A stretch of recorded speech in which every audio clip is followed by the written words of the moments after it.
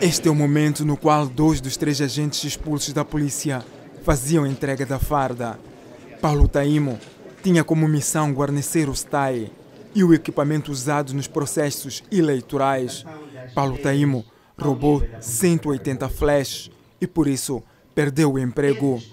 O comandante da cidade prefere dizer que ele e os outros eram infiltrados na polícia.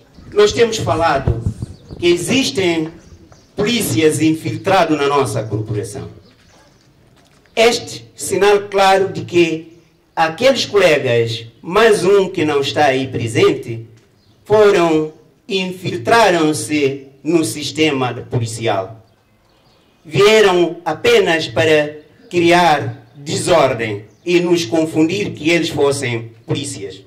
Lourenço Chauk abandonou o posto e agrediu um cidadão. O terceiro é Simone Calavete. Perdeu o emprego por ter arrombado uma residência na qual roubou utensílios domésticos.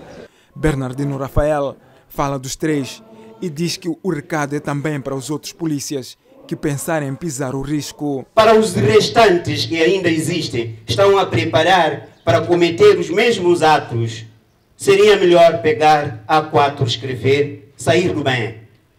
Porque a porta está aberta, podemos autorizar vossa saída. Todo aquele que se envolve ou que pensa envolver num comportamento desviante, é melhor escrever antecipadamente para sair. Nós temos caneta e carimbo para dizer autorizamos. E na hora do adeus, ficou uma mensagem para os polícias expulsos. Tudo menos optarem em fazer parte do mundo criminoso, porque do lado de cá estão os que têm a missão de jogar contra. Boa viagem. E se se juntarem aos criminosos, nós estamos aqui, vamos nos combater.